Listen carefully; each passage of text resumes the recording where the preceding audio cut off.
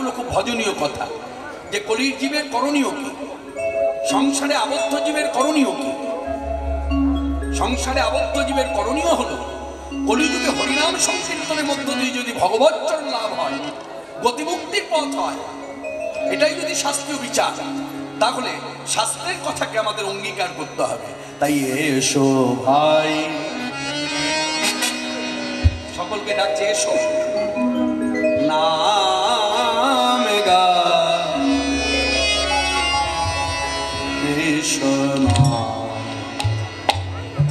হরিনাম বল কৃষ্ণ এসো ভাই। সকলে আসুন।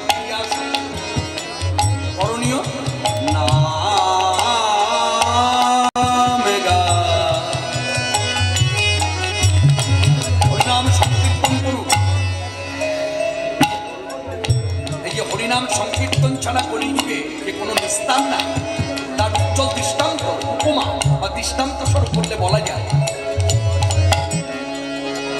এই যে মহামারী, কেন বা আছে কম বেশি, এখনও আমরা মিডিয়ার মাধ্যমে জানতে পারি। অমুক রাজ্যে বা অমুক দেশে মহামারী আক্রান্ত বহু মানুষ। এই মহামারীর সময় আমরা সকলেই কিন্তু খুব বিচলিত ছিলাম। খুব বিচলিত হয়ে পড়েছিলাম। নিজে বাঁচবো কি করে, অপরকে বাঁচাবো কি করে? সেই মুহূর্তে আমরা যারা ভক্তির পথে আছি, আমরা সকলেই একমত। কথাটা খুব খাঁটি কথা। প্রত্যেক সাধু সন্ত বৈষ্ণব মহাত্মা নিহলোকগামী যারা পরলোকে চলে গেছেন, তারা তো সূক্ষ্মদেহে বিরাজ করছেন। ইহলোকে যারা আছেন, প্রত্যেকের কাছে যখনই আমরা জানতে চেয়েছি যে আমাদের করণীয় কি, তখনই তারা শ্রীমুখে আমাদেরকে আদেশ করেছে, নির্দেশ দিয়েছে যে আপনারা একত্রে জড়ো হয়ে হরিনাম যদি করতে না পারে, নিজ নিজ গৃহে বসে একা একা হরিনাম জপ কেননা এই হরিনাম এত বলবান হরিনাম সর্ব অমঙ্গল দূর করে তা মহামারী তো তুচ্ছ। অর্থাৎ এই মহামারী থেকে যদি, এই প্রতাপের হাত থেকে যদি নিজেকে রক্ষা করতে হয়, অপরকে বাঁচাতে হয়, এসো ভাই। নাম গাই। নাম গাইতে। গীতা পাঠ রামায়ণ মহাভারত পাঠ করতে বলেন, শ্রীমদ ভাগবত পাঠ করতে বলেন, পদাবলী কীর্তনও করতে বলেন। শুধু বলেছে হরিনাম সংকীর্তন করুন তাহলে সব অমঙ্গল দূরে যাবে, সব আশঙ্কা দূরে যাবে। একটা আশঙ্কা ছিল তো সকলে, বাঁচবো কি বাঁচবো না? অপরকে বাঁচাতে পারব কি সমাজে মানুষ বলে কিছু, মানুষ জাতি বলে কিছু থাকবে কিনা ইত্যাদি। তা সেই কথাকে স্মরণ করে আজকে সভাতে দাঁড়িয়ে সিদ্ধান্ত স্বরূপ বলি, আমাদের করণীয় হচ্ছে মহামারী থাকুক চাই না থাকুক, যুগ যখন কলিযুগ, এই কলিযুগে একমাত্র আমার আপনার মতো আপামর জনসাধারণ খেটে খাওয়া মানুষের গতিমুক্তির উপায়ই হচ্ছে হরিনাম। বলছে, এটা কতটা সিদ্ধান্ত স্বরূপ কথা? শাস্ত্রীয় সিদ্ধান্তকে মানুষ যেভাবে গ্রহণ করে, মন গড়া কথাকে কিন্তু মানুষ গ্রহণ করে। মন গড়া কথা শোনে, কিন্তু হৃদয়ে বসে না। আর শাস্ত্রীয় কথা শুধু শোনে না, শাস্ত্রের কথাগুলো মানুষ যেমন শোনে, তেমনি হৃদয়ে বসে যায়। তার উজ্জ্বল দৃষ্টান্ত, দেখবেন পরবর্তীকালে সেই ব্যক্তির আচরণটা বদলে গেছে। শ্রীকৃষ্ণ দাসের যে আচরণ, সেই আচরণটা তার এসে গেছে। কি করে? না, ওই শাস্ত্র শাস্ত্রের কথাই একমাত্র পারে, জীবের চিত্তকে শুদ্ধ করো। কোনো মন গড়া কথার ক্ষমতা নাই, শক্তি সামর্থ্য নাই, একটা জীবের চিত্তকে শুদ্ধ করতে পারে। তাই শাস্ত্রের কথাকে মর্যাদা দিতে হবে। শাস্ত্র যা বলেছে, তা মাথা পেতে নিতে হবে, যদি আমি এই পথে থাকি। আর এই পথে যদি আমি না থাকি, তাহলে কোনো কথা নাই। তার জন্য কোনো কথা নাই। তোমার যেমন ইচ্ছা তেমন চলতে পারো। কিন্তু তুমি যদি এই পথে আসো, এ পথে শাস্ত্রের কথা মতো চলতে হবে। তাই শাস্ত্র আমাদের বলছে, তুমি যাই কিছু করে থাকো না যত পাপই করে থাকো। না মনুষ্য জন্ম পেয়ে যখন যেদিন থেকে বুঝতে শিখেছো, যেদিন থেকে তোমার দেহে দোষ ঢুকেছে মানে আঠারো বছর বয়স হয়েছে, ছেলে হোক, মেয়ে হোক, মেয়েদের তেরো বছর, ছেলেদের আঠারো বছর, এই যেদিন থেকে দেখে দোষ ঢুকে গেল, তারপর থেকে তারপর থেকে যতদিন বেঁচে আছো বা বেঁচে থাকবে যত পাপই করো না কেন, তোমার পাপের ক্ষমতা নাই, হরিনামকে ছাড়িয়ে যেতে পারে। তাই ক্ষমতা যখন নাই, এখানে বুঝে নিতে হবে যে অটুট সিদ্ধান্ত, এই কথা খাঁটি কথা, হরিনাম করলে সর্ব পাপ দূরে যায়। যা- যে ধরনের পাপ করি না কেন, তার ভাঙানির প্রয়োজন নেই। কি পাপ করতে করলে কি হবে, ও ভাঙানির প্রয়োজন নেই। যে পাপই করি না কেন, সব পাপ দূরীভূত হয়, হরিনাম। তাই তারা আজ এই বিশ্বাস রেখে জীবের দ্বারে এসে বলে এসো ভাই। হাত জোর করে বিনয়ী হয়ে দীনতা নিয়ে নাম গাই। কৃষ্ণ নাম।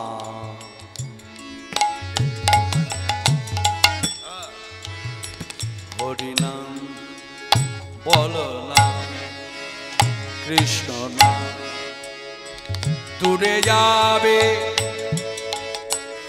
হবে। কি? ত্রিতাবে জ্বালা।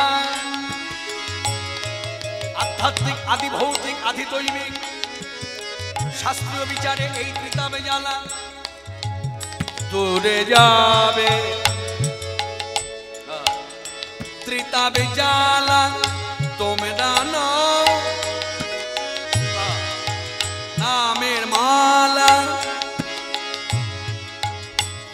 দূরে যাবে ত্রিতাবে জ্বালা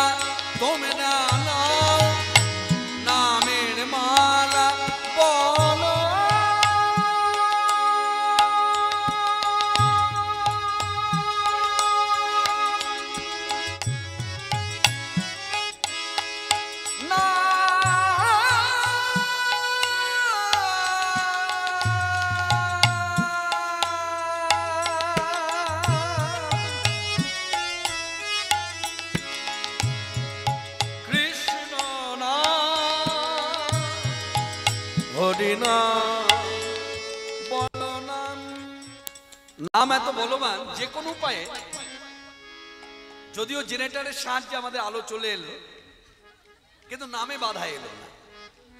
আপনারা লক্ষ্য করেছেন? যাহার থেকে আলো নিভে গেল, পদাবলী কীর্তনের কথাগুলো হয়তো বন্ধ হয়ে গেল, কিন্তু নামটা কিন্তু আমরা ধরে রেখেছি। অতএব এখানে বুঝে নিতে হবে যে সবকিছুর ঊর্ধ্বে হচ্ছে হরিনাম। যার জন্য এখানে যখন সভা হয়েছে, হরিবাসর হয়েছে, যেখানেই হয় দেখবেন হরিনামের সংকল্প হয়।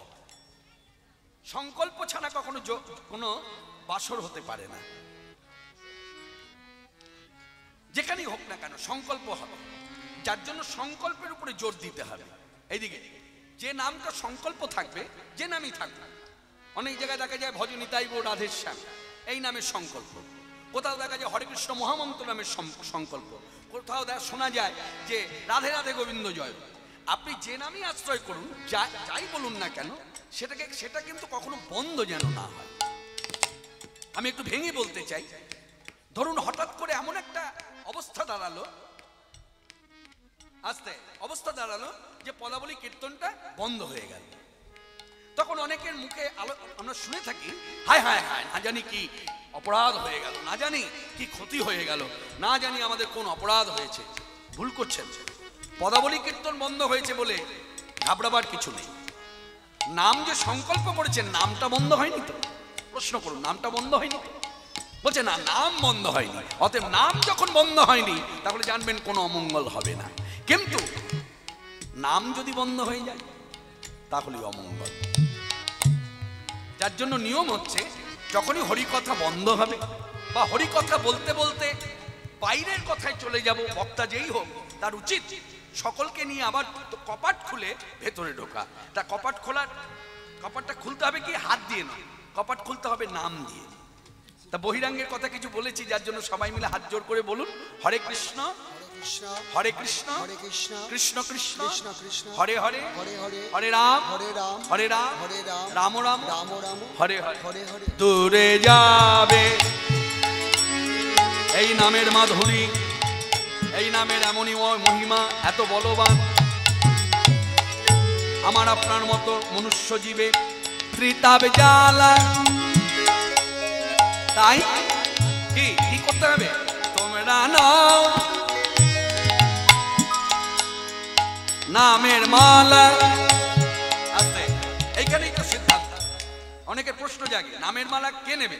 আমি তো দীক্ষা দীক্ষা যার হয়েছে, সে নামের মালা নেবে। তাহলে আমি তো দীক্ষিত নই, আমি কি নামের মালা নিতে পারি? এই, কথা, জেনে নি।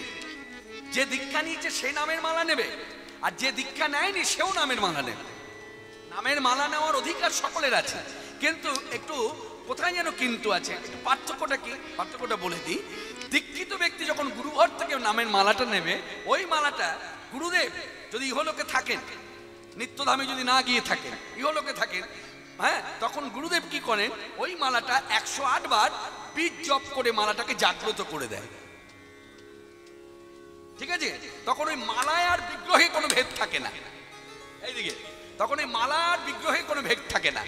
আপনি যদি তখন বিগ্রহের কাছে না পৌঁছতে পারেন, ওই মালার মাধ্যমে, জপের মাধ্যমে বিগ্রহের খাওয়া, দাওয়া, স্নান, আহার আদি, বিশ্রাম মানে শয়ন সব হয়ে যায়, জাগরণ সব মালাতে হয়ে যায়। তখন তারা কি করে? মালা উপবাস রাখে না। অর্থাৎ দীক্ষিত ব্যক্তি যখন একশো আটবার বীজ জপ করে গুরুদেব মালা হাতে দিল, তখন বলে দিল, যে মালা কিন্তু এখন কিন্তু সাক্ষাৎ বিগ্রহ, কোনো ভেদ নাই। অতএব এই মালা কিন্তু উপবাস রাখলে জানবে তোমার ঘরের ঠাকুর উপবাস থাকে হ্যাঁ এই হচ্ছে তফাৎ। আর সাধারণ মানুষ যদি মালা নেয়, দীক্ষা না নিয়ে, তার কিন্তু ওই নিয়ম নয়। তাকে হচ্ছে অভ্যাসটা করাচ্ছে একটা মাধ্যমে। কি মাধ্যম? না, মালাটা হচ্ছে মাধ্যম। সেখানে সংখ্যা আছে একশো আটটা, গুটি আছে, গুটি দিয়েই বলি। গুটি আছে, ওই একশো আটটা ঘুরে ফিরে জব করে যায় তাহলে কি হবে? জিহুবা বশীভূত হবে। তোমার এই হাতটা এই মালাটা টানবার একটা অভ্যাস দাঁড়িয়ে যাবে। পরবর্তীকালে কি হবে? যখন তোমার গুরুচরণ আশ্রয় হবে, আশ্রয় হবার পর যদি কোনোদিন মালা আবার পেয়ে যাও, তখন আর তোমার ওই কষ্টটা হবে না। কারণ তুমি তো অভ্যাসের দাস হয়ে গেছে। তখন আর নতুন করে শিখতে হবে না মালা কীভাবে টানতে হবে। হরে কৃষ্ণ। বোঝাতে পারলাম মায়েরা? মা তাহলে মালা, সকলেই নিতে পারে। তাই বলছে, তোমরা নাও নাও, নামের মালা, বলো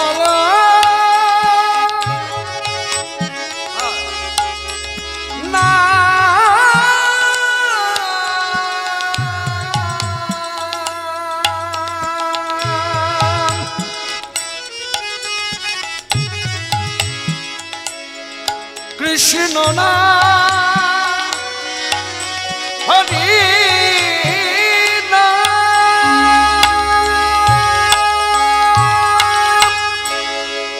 এসো ভাই নাম গাই কৃষ্ণ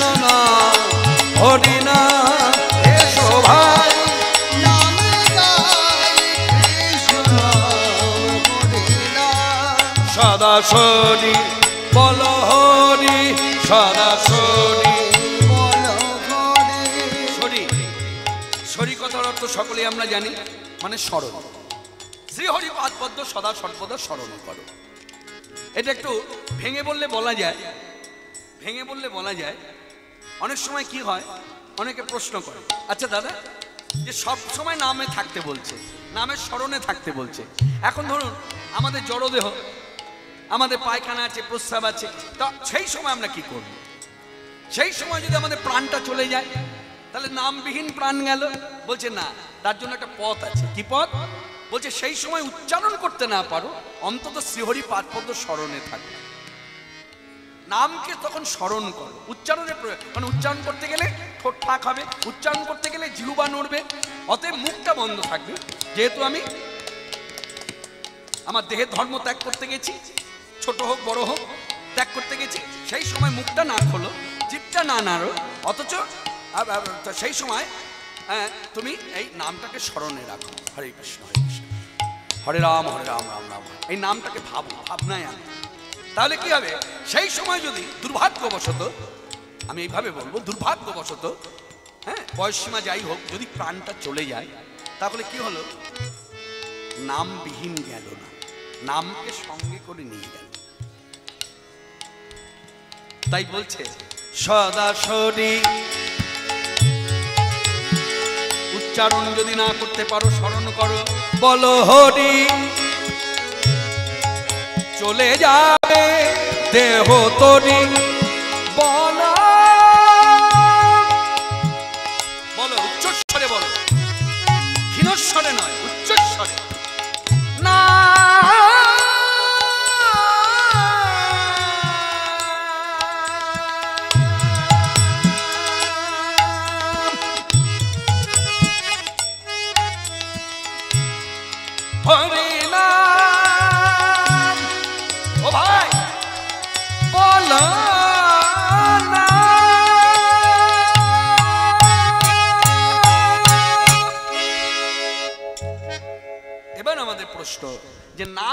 বলছে, কি নাম বলব?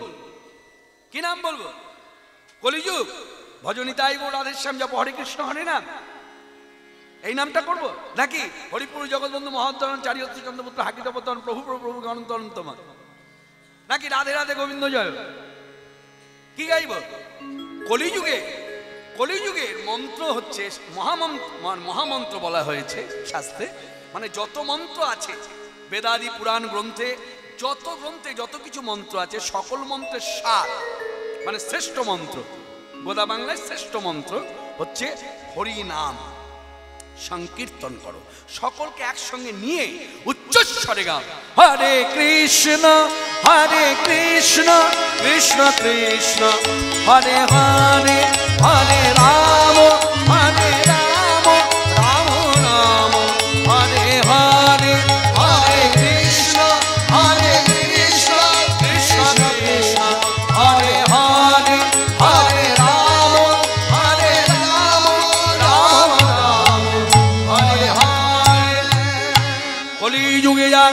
পূজা তর্পণে কিছু কলি যুগে নাম যজ্ঞ এখানে অপব্যাখ্যা করলে হবে না, ভুল শিক্ষাটা মানুষের কাছে পৌঁছে দিলে হবে না। ভুল শিক্ষা পৌঁছে গেছে, যার জন্যই কথাটা তুলে ধরলাম। অনেকে ভাবে যে কবিরাজ গোস্বামী পা চৈতন্য চরিতামৃতি যে কথা বলেছেন, তিনি হয়তো বলেছেন যে কলিযুগে যাগযজ্ঞ পূজা তর্পণ এগুলো প্রয়োজন নেই। না, তা বলেনি। তিনি বলতে চাইছেন, কলিযুগে যাগযজ্ঞ, পূজা, তর্পণ, শ্রাদ্ধাদি কর্ম হ্যাঁ এই যা কিছু আছে, সব করো। কিন্তু মাথায় রেখো, এই সব কিছু করণের মধ্য দিয়ে হরিনাম কিন্তু তোমাকে একবার হলো উচ্চারণ করতে হবে। দেখবেন সেই ধারাটা এখন দেখা যায়। বিশেষ করে আমি তুলন মানে দৃষ্টান্ত স্বরূপ তুলে ধরবো, এই যে মহালয়ে যে তর্পণ করতে যাই আমরা। অনেকে যাই তো, এখান থেকে তো যাই, বাবুঘাটে যাই। এই তর্পণ করতে গেলে দেখবেন, ব্রাহ্মণ সেখানে দাঁড়িয়ে পিতৃপুরুষের উদ্দেশ্যে জলদান করল, মন্ত্র বলালো। বলাবার পর যখন ঘাট ছেড়ে উঠে আসবেন তখন বলছে, একটু দাঁড়ান। আসল মন্ত্রটা তো বলা হলো না। এই মন্ত্রটা একটু বলে নিন। এই মন্ত্র বললে কি হবে? এই মন্ত্র বললে কি হবে? তাহলে এই যে তর্পণটা করা হলো পিতৃপুরুষের উদ্দেশ্যে, এটা সিদ্ধি হলো, সার্থক হলো। এই মন্ত্রটা না বললে এই যতগুলো মন্ত্র আমি বলেছি, সব বিফলে চলে যাবে। তাই বলছে, কলিযুগে যাগযজ্ঞ করুন, পূজা তর্পণ করুন, যাই কিছু করুন হরিনাম কিন্তু আপনাকে করতে হবে। হরিনাম ছাড়া গতি নাই, হরিনাম ছাড়া গতি নাই, হরিনাম ছাড়া গতি নাই। তাহলে কোন যুগে? কলিযুগে। তাহলে কলিযুগকে কি করব? প্রণাম করতে হবে। তাই লিখলেন, প্রণাম কলিযুগ। সর্বযুগ সার, হরিনাম সংকীর্তন, যাহাতে প্রচার। এখন কথা হলো, কলিযুগের তো দোষ আছে। অন্যভাবে নেবেন না, আমি নিজেকে দেখিয়ে বলি। আমার মধ্যে যেমন দোষ আছে। হ্যাঁ তা এই দোষ থাকলে যারা পর- প্রকৃত বৈষ্ণব, তারা কি ভক্তি করবে? যারা ভক্তির পথে ভক্তি একটু হলেও আশ্রয় করেছে, পেয়েছে, অন্তরে এসেছে, তাদের ভক্তি জাগবে? সাধারণ মানুষ কিন্তু অত বিচার করে না। সাধারণ মানুষ দেখছে যখন হরিকথা বলছে, কীর্তনিয়া বক্তা হিসেবে দাঁড়িয়েছে হ্যাঁ বেশ সুন্দরভাবে ব্যাখ্যা করছে বর্ণনা করছে হ্যাঁ তাকে তো ভক্তি করতেই হবে। কিন্তু এখানে আমার আমার একটু কিন্তু আছে। বলতে পারলেই যে ভক্তিটা করতে হবে তাকে বৈষ্ণবদের মতো সমানভাবে, পরম বৈষ্ণবদের বা গুরুবর্গদের যেভাবে ভক্তি করে থাকি, ভগবত বিগ্রহে যেভাবে ভক্তি করে থাকি, সেইভাবে একেবারে প্রণাম করতে হবে, এটা কিন্তু নয়। তার জন্যই আমার কথা। যেমন, আমি আমাকে দিয়ে বলি, আমার কি দোষ? বৈষ্ণবীয় চিন্তাধারা অনুযায়ী বলছি, আমার কি দোষ? যেমন আমি চা খাই। এই চা খাওয়াটা কিন্তু দোষযুক্ত। কারণ চা একটা নেশা। যার জন্য বৈষ্ণব ধর্মে এটা কিন্তু নিষিদ্ধ। তারপর দেখুন খৈনি খাই, এটাও কিন্তু নিষিদ্ধ। তাহলে তামাক বর্জন করতে পারি তাহলে এই ব্যক্তি হয়তো গুছিয়ে কথা বলতে পারে। ফলে পারে কেন? না, গত জন্মে হয়তো কিছু একটা ভালো কাজ করেছিলাম। তার স্বীকৃতি ফল হ্যাঁ? পূর্বজন্মের স্বীকৃতি ফল যে এই জন্মে তুমি মনুষ্য দেহ পেয়ে হ্যাঁ দুটো হরিকথা বলে মানুষকে বসিয়ে রাখতে পারবে। এই শক্তি তোমায় দিলাম। এখন এই শক্তি পেয়ে অপব্যবহার করলে হবে না। কি অপব্যবহার? কোনো মানুষ এসে হয়তো ভক্তি করছে, তখন তাকে বলতে হবে, বাবা, আমাকে নয়। আমাকে নয়, যার মধ্যে নিষ্ঠা আছে। যে নিয়ম মেনে হরিনাম করছে, যে নিয়ম মেনে হরি কথা বলছে, যে নিয়ম মেনে পূজা কর্মাদি করছে, তাকে তুমি ভক্তি করো। আর আমাকে করলে কি হবে জানো? তোমার মানসিক একটা শান্তি যে আমি করেছি ভক্তি। তাতে কি হলো তুমি তো বুঝলে না? তোমার বোঝা দরকার, তোমার ভেতরে যে শুদ্ধা ভক্তিটা আছে, যে উন্নতি হতো সেই উন্নতির পথে আমার মতো একজন অবৈষ্ণবকে ভক্তি করে তোমার উন্নতির পথে কাটা হয়ে দাঁড়ানো এটা আমি মনে করি এই দীনতা নিয়ে সকলকে, এই দীনতা ভাব নিয়ে প্রকাশ করা দরকার। প্রণাম করছে বলে পা এগিয়ে দেওয়াটা এটা আমাদের করণীয় নয়, বরঞ্চ আরও পা গুটিয়ে নেওয়া দরকার। জানবেন পরম বৈষ্ণব নিষ্ঠাবান ব্রাহ্মণ দেখবেন সরাসরি পা স্পর্শ করতে দেয় না। বলে, না না ভাই, প্রণাম করো না। বলে, কেন? আপনি হ্যাঁ? বলছে, না না ভাই, তোমারও ক্ষতি, আমারও ক্ষতি। কেন? না, তোমারই কপাল দেশে বিষ্ণুদেব অধিষ্ঠান করছে। কি ছেলে, কি মেয়ে? এখানে আমরা মেয়েরাও আছি। কি ছেলে, কি মেয়ে? প্রত্যেকের কপাল দেশে বিষ্ণুদেব বসে আছেন। তাহলে বিষ্ণুদেব যদি বসে থাকেন, অধিষ্ঠান করেন এই কপাল দেশে, এই জায়গাটায়, এই এই।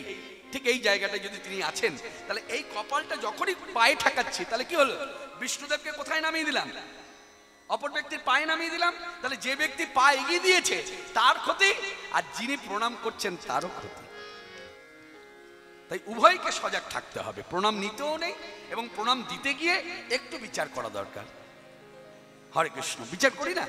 সাধারণ জগতে জড় জগতে দেখুন। হ্যাঁ ভালো লোককে প্রণাম করি। করি তো? কিন্তু যে মন্দ লোক তাকে প্রণাম করি করি না। কিন্তু এখানে দেখুন কি বলছে, কলিযুগের অনেক দোষ তাকেও বলছে ভক্তি করতে। পার্থক্যটা কি? না, বলছে কলিযুগের অনেক দোষ, দোষের মধ্যে তার একটি গুণ, সেই গুণের জন্য তার সব দোষ ঢাকা পড়ে গেছে। ঠিক যেমন বাড়ির বৌমা। এইদিকে, এই এই যে মায়েরা, কথাটা শুনুন, ছোট্ট একটা কথা, দৃষ্টান্ত স্বরূপ। বাড়ির বৌমা বৌমার যদি দোষ ধরা যায়, গুনে গুনে বলা যায়, এই দোষ, ওই দোষ, সেই দোষ সেই দোষ। কিন্তু বাড়ির বৌমার অনেক দোষ। কিন্তু সেই বাড়ির বৌমা একটা গুণ আছে। কি গুণ? না, তার মনটি খুব ভালো। আর ভালো মনের জন্য সংসারটা বেশ গুছিয়ে রেখেছে। দোষ তার থাকতে পারে। তাহলে এই গুণের মর্যাদা দিতে হবে। ঠিক তদ্রুপ, কলিযুগের হয়তো অনেক দোষ। কিন্তু শাস্ত্রীয় বিচার, এটা আমার মন করা কথা নয়, শাস্ত্রেও লেখা আছে, তার অনেক দোষ। অনেক দোষ থাকলেও তার একটা বিশেষ গুণ হচ্ছে, এই কলিযুগে আমার আপনার মতো সাধারণ খেটে খাওয়া মানুষ যদি এবার চিৎকার করে উচ্চস্বরে উচ্চস্বরে শ্রীকৃষ্ণ কীর্তন করতে পারে, তাহলে তার সর্ববন্ধন মুক্ত সর্ববন্ধন মুক্ত হয়ে কোথায় যাবে সে? না শ্রীকৃষ্ণ পাদ পদ্মে মিলিত হবে। নিতাই গৌর হরি হরি। এই কারণে তিনি বললেন, কলিযুগকে প্রণাম করুন। এবার চলুন যাই। পরের পঙ্ক্তিতে কি লিখেছে? দুরমতি অতি পতি পাষণ্ডে প্রাণে না মানিল কানে দুরমতি অতি পতি প্রাণে না মানিল কানে হরিনাম দিয়া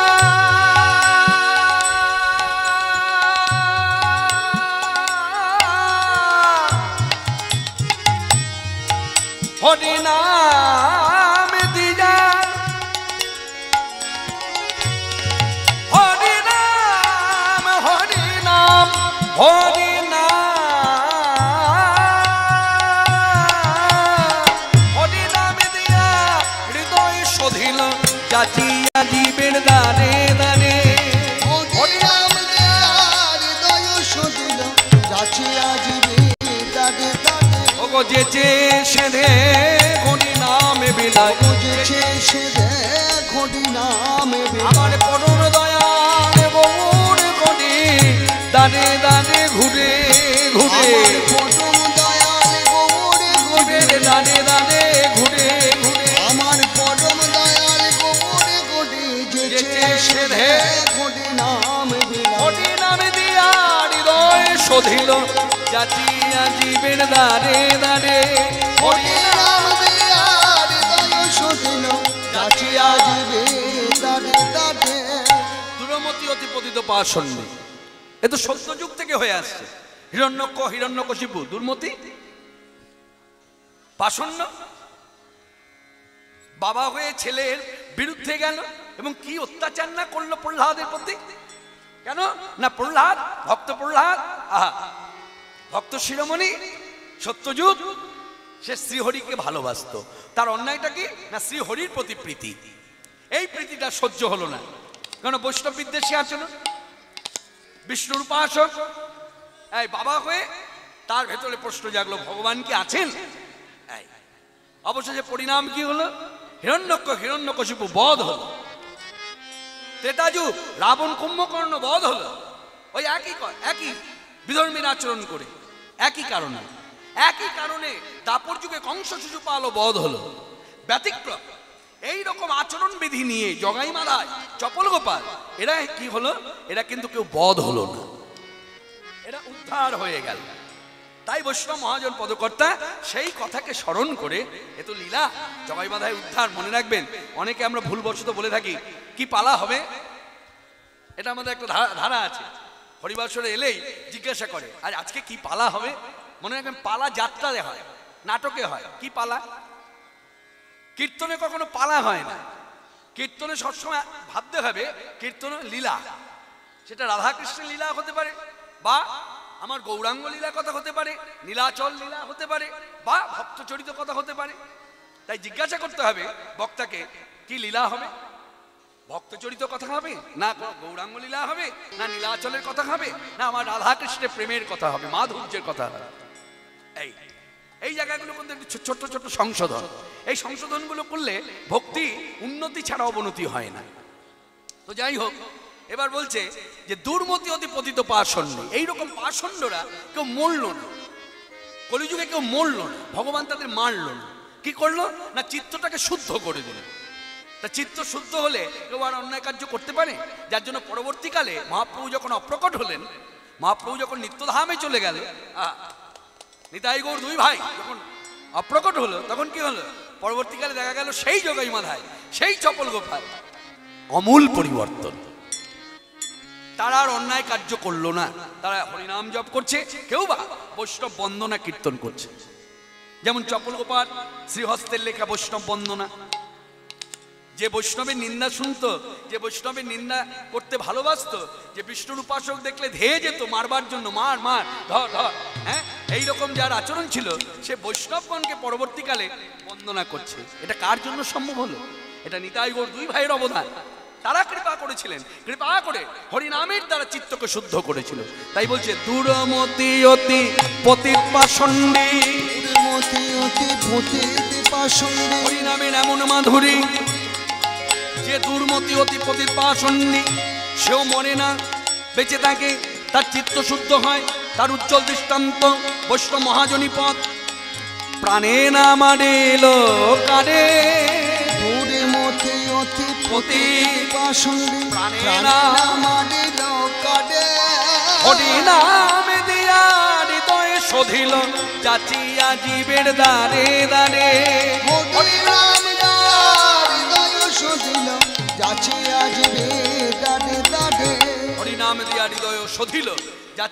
দ্বারে নাম করলে কি হয়? মুখ্য ফল প্রেম লাভ হয়। এখন এই প্রেমের বাসনাটা শুধু কি আমার আপনার মতো আপামর জনসাধারণে? এই জড়জগতে যারা আছি, আমরাই কি শুধু প্রেমের ভিখারি? না, অনন্ত কোটি ব্রহ্মাণ্ডে যত দেবদেবী আছে, সকলেরই কিন্তু সকলেই কিন্তু প্রেমের ভিখারি। তার উজ্জ্বল দৃষ্টান্ত বৈষ্ণব মহাজনী পদ। ভব বিরিঞ্চির বাঞ্ছিত যে প্রেম ভব বিরিঞ্চির মানে সাক্ষাৎ ব্রহ্মা। হরে কৃষ্ণ, শিব ব্রহ্মাদি যত দেবদেবী, সকলেরই বাঞ্ছিত ধন। দুর্লভ কৃষ্ণ ভক্তি মানে প্রেম, এক কথায় প্রেম। ভববিরিঞ্চির বাঞ্ছিত যে প্রেম, কৃপা করে গৌর সুন্দর, নিতাই সুন্দর, এই কলিযুগে জগতে ফেলিল ঢালি। ফেলে দিল। যা পাওয়া যায় না। সাধনা করে, তপস্যা করে, প্রতাদি করে। হ্যাঁ হ্যাঁ হ্যাঁ। তা কৃপা করে এত করুণার ঠাকুর, দুই ভাই, তারা দুজনেই তো ভগবত দুই ভাই, এত করুণা, এত দয়া, এত ক্ষমা জীবের প্রতি, এই ঢেলে দিল। আর ঢেলে দেওয়ার দরুন কি হলো? আমার আপনার মতো কাঙালে পাইয়া, খাইয়া, নাচিয়া, বাজাইছে করতালি। কাঙালের ধন কাঙাল পেল। কাঙালের ধন কাঙাল। আমাদের কাঙালের গোসাই আমাদের কাঙালের গোসাই ঘরে এলো হরি হরি হরি বলো। কাঙালের গোসাই ঘরে এলো। হরি হরি হরি বলো। কাঙালের গোসাই ঘরে এলো। কাঙালের ধন। কাঙালে পাইয়া খাইয়া নাচিয়া বাজাইছে করতাল। এই হরিনাম দানে ভগবত ভক্তি দানে মানে প্রেম দানে জগতে মাতি ভেসে গেল প্রেম বন্যায় আর এই প্রেমে বন্যায় যে ভেসে গেল, শুধু কি ভারতবর্ষের মানুষ? এই জড়জগতে থেকে বর্তমান দু একুশ সালে দাঁড়িয়ে তথ্যগত বিচারে একশো চুয়াত্তর প্লাস মানে একশো চুয়াত্তরটি দেশের অধিক দেশ হরিনামে তারা মেতে উঠেছে। আমি বহুবার বহু সভায় দাঁড়িয়ে এই তথ্য প্রচার করেছি। আপনারা ইউটিউবের মাধ্যমে দেখে থাকবেন, শুনে থাকবেন। আমি বহুবার বহু সবাই দাঁড়িয়ে বলেছি এবং আমি বলতে চাই, যতদিন আমি কীর্তন জগতে থাকব, এ কথা আমি খুব গর্বের সহিত বলব। এটা আমার নিতাই গৌর দুই ভাই, ঘরের ঠাকুর, বাঙালির ঠাকুর, যারা বাংলা ভাষায় কথা বলতেন। তারা দুই ভাই বাংলা ভাষায় কথা বলেছিলেন বলেই আজকে বাংলা ভাষার এত মর্যাদা। মনে রাখবেন, মাথায় রাখবেন। বাংলা ভাষার প্রাণ পুরুষই হচ্ছে নিতাই গৌর দুই ভাই। এরা অন্য কোনো ভাষায় কথা বলতেন না। আর তারা এই বাংলা ভাষায় কথা বলতেন বলেই আজকে বাংলা ভাষা এখনও বেঁচে আছে।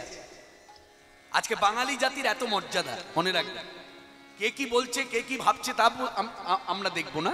হ্যাঁ? কার কাছে কতটা অমর্যাদা হলাম, কতটা মর্যাদা, সেটা বিচার করব না। আমি একার হারে কথাটা বলতে চাই, বাঙালির যে সম্মান, বাঙালির যে মর্যাদা, এটা কিন্তু নিতাই ওর দুই ভাইয়ের অবদান। তারা যদি না আসতো, এই জাতিটাই থাকতো না। এক কথায়। তা যাই হোক, সেই তথ্যে আমি যাব না। আমি মূল মূল কথায় বলব যে এই নামদানে, প্রেমদানে জগৎ ভেসে গেল। অনেকের প্রশ্ন জাগে, কতটা ভাসলো? কোন কোন দেশ ভাসলো? ওই আমি বলে দিলাম, একশো চুয়াত্তর প্লাস তার মধ্যে সব দেশ। ইউরোপ কান্ট্রি থেকে শুরু করে হ্যাঁ লাতিন আমেরিকা ওদিকে এশিয়া মহাদেশ, যত দেশ আছে এশিয়া মহাদেশের মধ্যে যত দেশ আছে, সব, এবং লাতিন আমেরিকার মধ্যে যত দেশ আছে, সব, ইউরোপের মধ্যে যত দেশ আছে, সব সব দেশে আজকে হরিনামকে গ্রহণ করেছে। হরিনাম গ্রহণ করেছে। তারা চিৎকার করে হরিনাম গাইছে, পথে ঘুরে ঘুরে হরিনাম গাইছে। তা এটা গেল তথ্য, এই কথাটা তো গেল তথ্য। তথ্য যত না আমরা যাদের বিশ্বাস হয়, তার থেকে বেশি বিশ্বাস করি, বেশি ভক্তি করি। মহুষরা মহাজনী পদাবলিতে তত্ত্ব প্রচার করেছেন। কি তত্ত্ব? এ তিনে ভুবন আনন্দে ভরিল, হরিনামে মেতে উঠল। ওগো উঠিল মঙ্গল সু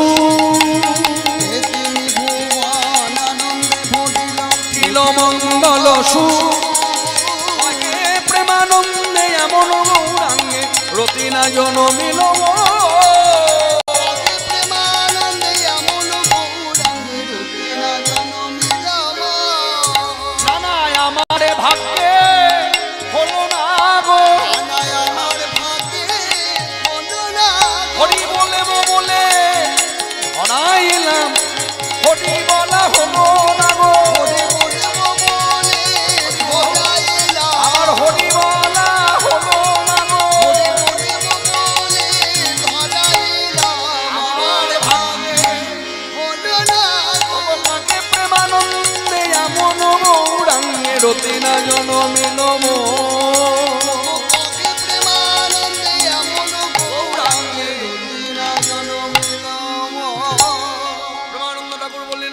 অতিমতি জন্মালো না, ভগবত চরণে নিতাই গৌরপাদ মধ্যে, আমার মাথাটাও আমি নোয়ালাম না।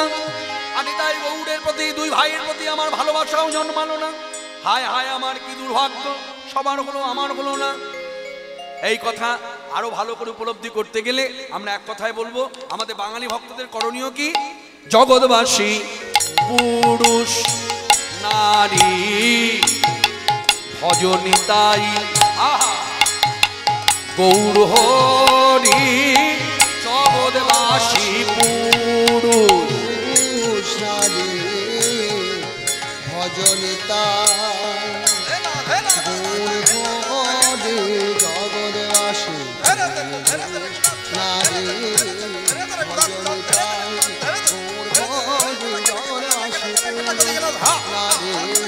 ভজনিতা গৌর গৌর জগৎবাসী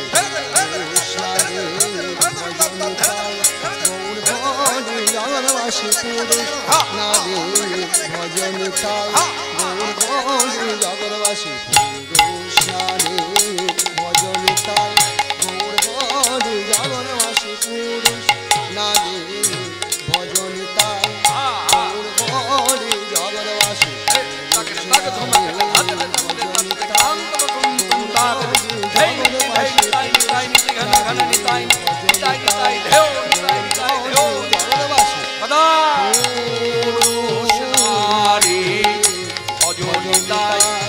গৌর হরে জগৎবাসী পুরুষ নারী ভজ নিতাই গৌর হরি জগৎবাসী পুরুষ নারী ভজ নিতাই গৌর হরি জগৎবাসী পুরুষ নারী ভজ নিতাই গৌর হরি ভুবন আনন্দে ভরিল উঠিল মঙ্গল সুর। কহে প্রেমানন্দে এমন গৌরাঙ্গে রতিমতি জনমিল নাম।